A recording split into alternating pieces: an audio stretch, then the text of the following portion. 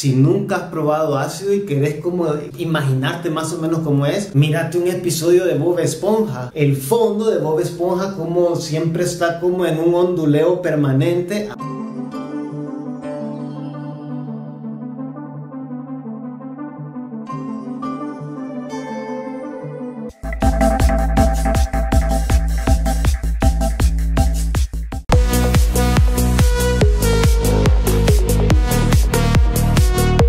Hola a todos, bienvenidos a Vida Random, yo soy Diego y hoy vamos a hablar de qué se siente estar en LSD hora por hora. Primero, hay que empezar por el principio, decir que yo no estoy promoviendo ningún tipo de drogas, no te estoy diciendo aquí que vayas a comer LSD, pero sí pienso que este tipo de videos es necesario hacerlo. Se hacen mucho en inglés, hay mucha gente haciéndolo en inglés, pero en español, bueno, no sé, por ahí he visto una marioneta que habla de drogas, o sea, no pueden darte la cara porque mucha gente pues tiene miedo de exponerse. Pienso que para tener un mayor nivel de credibilidad hay que dar la cara, así que bien. Ahora quiero hablar de cómo se siente hacer LSD hora por hora. Para mí ah, existen dos formas de describir los efectos de una droga. Una es la que voy a hacer hoy por el timeline, decir hora por hora qué se siente. Y la otra es cómo afecta esta sustancia a tus cinco sentidos. Ese video lo haré en otra ocasión. Bien, para empezar, si te comes un ácido a las 3 de la tarde, pues vas a tener que esperar más o menos una hora. Yo diría 90 minutos es lo, lo necesario de esperar. Si a los 90 minutos de haberte comido el LSD pues no sentís nada, pues quizás te dieron algo que no era LSD. Tu cuerpo puede tardar un tiempo en hacer la digestión y el LSD se tarda un poquito más en digerir que otras drogas como el MDMA que en 45 minutos ya lo sentís. Así que durante la primera hora vos no vas a sentir nada. Por ahí, por el minuto 60, digamos, vos deberías de empezar a sentir, o la subida del ácido empieza por el minuto 60. Si has comido, si tenés la panza bien llena y después te comiste un ácido, pues eso puede llegar en el minuto 90. Pero digamos que tenías el estómago vacío, entonces esperaba una hora. La subida del ácido, del ajo, digamos, es mejor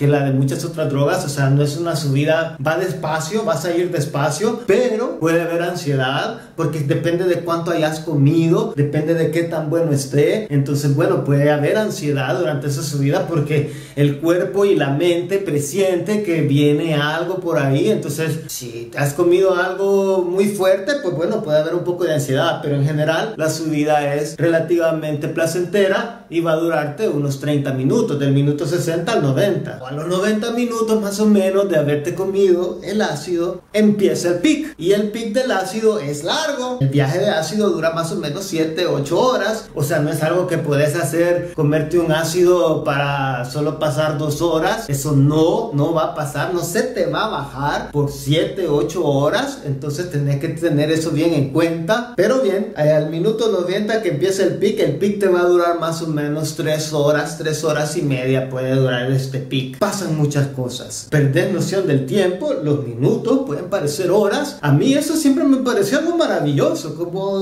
me pare, como un minuto podía parecer una eternidad. Pero hay gente que eso la puede abrumar, entonces tenés que tomar eso bien en cuenta. El tiempo se va a perder noción del tiempo. Otra cosa del pic del ácido es que te genera ciertas alucinaciones visuales. No creas que vayas a ver unicornios, elefantes bailando, o sea, eso es lo que las caricaturas o idioteces, a veces he oído gente en la calle decirme que vieron duendecillos o no sé qué. Es muy difícil, o sea, no, imposible.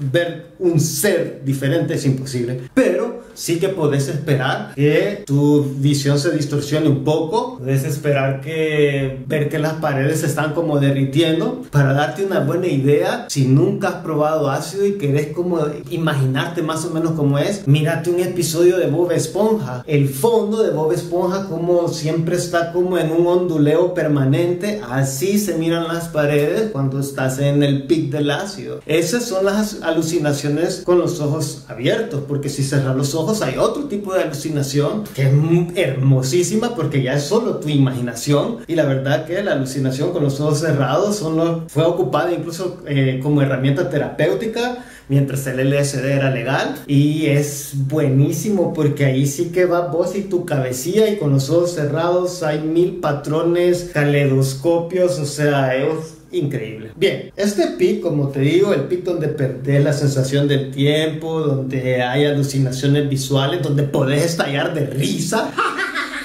Morir de la risa hacia lo bestia, ¿me entiendes? O de repente poder llorar. O sea, cuando has tomado una dosis relativamente fuerte y hay muchos sentimientos y pensamientos todo revuelto en un solo vortex de colores. Y, y bueno, es eh, una cosa difícil de explicar. Ponerlo en palabras es de las cosas más difíciles que hay. El que mejor pienso yo que lo ha hecho en inglés, al menos es Terence McKenna, este biólogo que realmente tiene la capacidad de poder expresar lo que se siente al estar en un estado psicodélico. Pero bueno, llevamos los 60 minutos de la digestión, donde no sentís nada. Luego dale 30 minutos a la subida, que te digo que vea, puede haber un poquito de ansiedad, pero que en general es bastante placentera. Entonces llevamos 90 minutos ahí. Dale al pic las 3 horas y media. Entonces estamos hablando que ya pasaron más o menos 4 horas y media, ponerle 5, 4 horas y media. Y ahí es donde empieza la bajada del LSD. Realmente hubo un tiempo en el que yo pensaba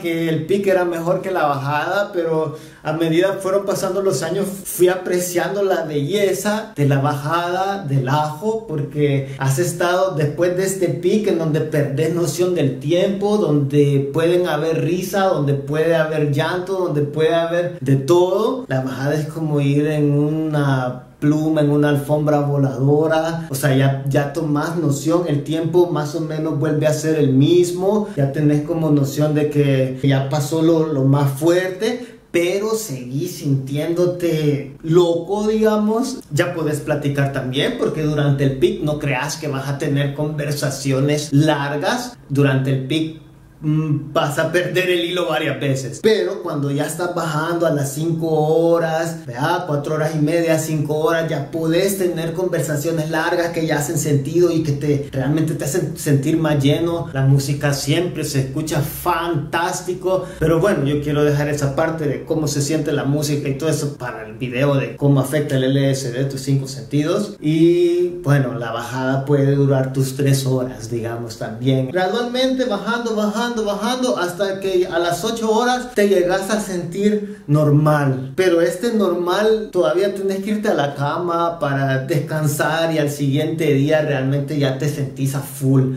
Hay que recordar una cosa también, y es que el LSD es una de las drogas consideradas menos peligrosas que hay en cuanto a los riesgos que presenta tu salud, según la tabla que realizó David Knott, que es el neuropsicofarmacólogo que tanto te hablo yo porque fue jefe de la unidad antidrogas del Reino Unido. Aunque bueno, ya te hice el video de los peligros de tomar LSD, así que por favor checa ese video. Así que bueno, espero te haya gustado este video.